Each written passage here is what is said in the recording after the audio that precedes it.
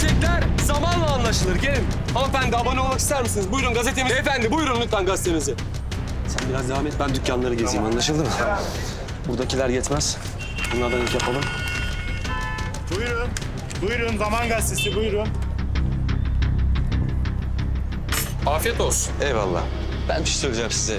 Zaman gazetesinden geliyorum. Acaba gazetemize abone olmayı düşünür müsünüz? Sağ olun gerek yok. Olsun ben yine de buraya bırakayım. Eğer abone olmayı düşünürseniz bakın üzerinde numarası yazıyor. İnşallah bir dahakine abone olursunuz siz de. Sağ ol kardeş teşekkür ederim.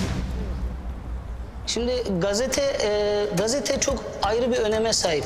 Şimdi o dönem itibariyle kendi tabirleri var. Ulubatlı Hasan'ın e, İstanbul'a surlara bayrağı dikmesi neyse Zaman Gazetesi'nin bir eve gitmesi de budur. Eyvallah kardeşim gene gel alışverişe de gel. Eyvallah abi. Bir kasap vardı. Dindar da bir adamdı. Beş vakit namazı. Gittim. Selamünaleyküm. Aleykümselam. Zaman gazetesine abone olmak ister miydiniz? E, istemiyorum kardeşim. Lütfen ben masanıza bırakayım bir okursun. İstemiyorum kardeşim. Ya Neden böyle yapıyorsunuz? Ben masanıza bırak... kardeşim basket istemiyorum lan işte. Gelme lan bir daha buraya. Cemaat misin, örgüt müsün, nesin lan? Abi gözünü seveyim. Öyle gözümü sevecek. Sen bak bir tane.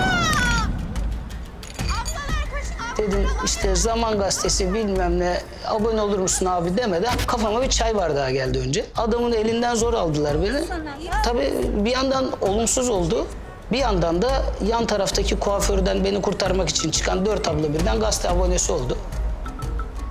Kuafördeki kadınlar böyle saçlar kabarık kabarık çıkmışlar. Hepsi gazete abonesi oldu.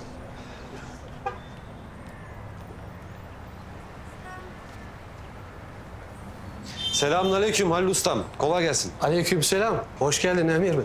Eyvallah, hoş bulduk. Buyur. İki çay. Sağ olasın ustam. Maşallah bakıyorum da Zaman Gazetesi baş köşede. Çok iyi gazete vallahi. Müşteriler çok memnun. Poçanın, pidenin yağını emmiyor.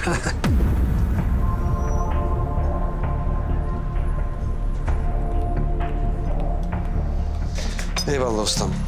Eyvallah. Halil ustam benim senden bir ricam olacak. Biliyorsun gazetenin abone sayısını arttırmamızı istiyorlar. Eh senin de işler gitgide büyüyor maşallah. Şükür.